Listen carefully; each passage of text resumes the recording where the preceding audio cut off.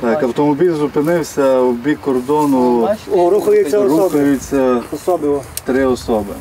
Саме так починається операція з виявлення та затримання осіб, які намагаються незаконно перетнути державний кордон і пронести із собою контрабандний товар. Чергова частина подає сигнал тривоги оперативній групі, яка виїздить на місце події. Це займає лічені хвилини.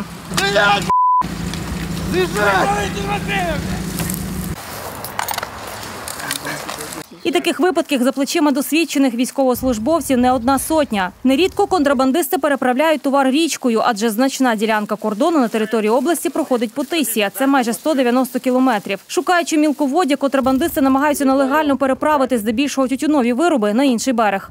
Порівнюючи з минулим, з минулим роком, е, кількість спроб е, майже однакова. Е, Щоправда, е, характерним для минулого року було намагання переправити невелику е, переправити через кордон невелику кількість тютюнових виробів. Зараз дії правопорушників стають більш зухвалими і вони намагаються здійснювати переправлення через кордон більш значних партій тютюнових виробів. Тільки на румунсько-українській ділянці кордону з початку року було затримано понад 30 осіб, які намагалися незаконно перетнути кордон. Половина з них були в гідрокостюмах. На цій ділянці державний кордон проходить річкою Тиса. Цей берег це українська територія, інший вже Румунія. Відстань між двома країнами тут приблизно 30-40 метрів. Прикордонники розповідають, тут вже неодноразово затримували цигаркових контрабандистів. Не зупиняє порушників навіть огороджувальний паркан. Подолати даний загороджувальний паркан е, контрабандисти намагаються або шляхом накладання е, якогось е, важкого предмету на сам забор, щоб його можна було прикласти і до землі, і потім його подолати, або ж навпаки підняти, щоб проскочити внизу. І вже далі ті тютюнові вироби, які скотили донизу, вони їх забирають і переміщають на сусідню сторону. Ну, часто вже з того боку їх хтось зустрічає, хто забирає ці тютюнові вироби, і вони тікають назад. Та відповідальність для контрабандистів передбачена лише адміністративна. Тим часом при кордонному відділенні ділове досі не можуть оговтатись після трагедії, що сталася у ніч на 16 листопада. Під час виконання службових обов'язків загинув майор прикордонної служби Вадим Березенський. У нього посада була начальник відділу прикордонної служби ділове, е, яку він приймав і знаходився в підрозділі тільки другу добу. Не початківець, тобто досвід служби мав досить великий. Чорна стрічка майоріє разом з прапорами. Біля знаку з назвою прикордонного відділення горить лампадка. Військовослужбовці розповідають, того вечора румунські колеги повідомили про затримання осіб, які намагались перенести через кордон цигарки. Українські військовослужбовці відразу виїхали на обстеження прикордонної смуги. Їм також вдалося затримати одного порушника. Він якраз намагався е, повернутися назад, саме долав загороджувальний паркан у той момент, коли його затримали українські прикордонники.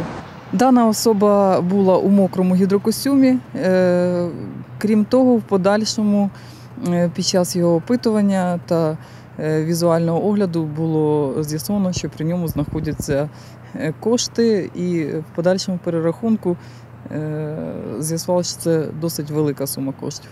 Вже під час опитування затриманого під'їхав його спільник на автівці. Він з погрозами намагався змусити прикордонників відпустити свого товариша. Та не отримавши результату, наїхав на одного з військовослужбовців автівкою. Він спочатку спробував е, домовитись, е, щоб його товариша відпустили. Там пропонував різні якісь умови.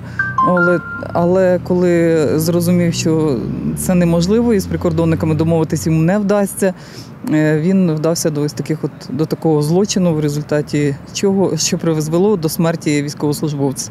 Все відбувалось прямо на узбіччі траси Мокачево-Рогатин у центрі села. Поруч будинка відразу навпроти того місця, де відбулось затримання, місцева кав'ярня. То на дворі стріляли. Ну, а відтак ми пішли, дуже багато людей це посходило.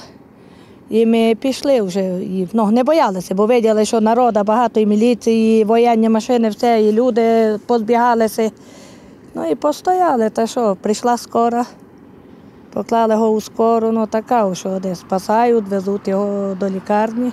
Щоб урятувати прикордонника, лікарі робили все, що могли, однак травми виявилися несумісними життям. Через два дні військовослужбовець помер. Тим часом винуватець трагедії сам здався поліції. Йому вже обрали міру запобіжного заходу тримання під вартою на два місяці. Я себе руку туди їхав, і все втік, не сказали, стріляли на мене. Я себе буду, своє життя втік. У своїх діях 34-річний водій розкаявся. Чи буде захист оскаржувати рішення суду, поки невідомо. Без коментарів. Чому? Наразі нема коментарів. Будете чи не будете скаржувати? До побачення. Згідно санкції статті, чоловік може опинитись за ґратами від 9 до 15 років або ж довічно. Не на камеру жителі ділового зізнаються. Винуватись трагедії місцевий авторитет, який вже давно займається контрабандою. Самостійно він не переносив товар через кордон, а наймав для цього тренованих хлопців. До слова, траплялися випадки, щоправда, багато років тому, коли порушники кордону, не розрахувавши свої сили, тонули. Відтепер персонал відомства може застосовувати і вогнепальну зброю у межах чинного законодавства згідно наказу номером 200. Прикордонні наряди в основному використовували е, спецзасоби та трав- травматичної дії. Це пов'язано з специфікою ділянки, близькість населеного пункту та е, е, суміжної держави. Значить, після даного даної події, значить, ми прикордонні наряди всі озброюються вогнепальною зброєю, яка в подібних випадках буде застосовуватися супроти порушників державного кордону. Вадима Березенського поховали у понеділок, 19 листопада, на Хмельниччині у місті Ізяслав на його малій батьківщині. Йому присвоїли звання підполковник посмертно. Також загиблого начальника прикордонного відділу ділове президент Петро Порошенко представив до державної нагороди та дав доручення вирішити питання забезпечення родини квартирою та забезпечити матеріальною підтримкою. У Вадима Березенського залишилась дружина та двоє дітей: десятирічний хлопчик та однорічна дівчинка.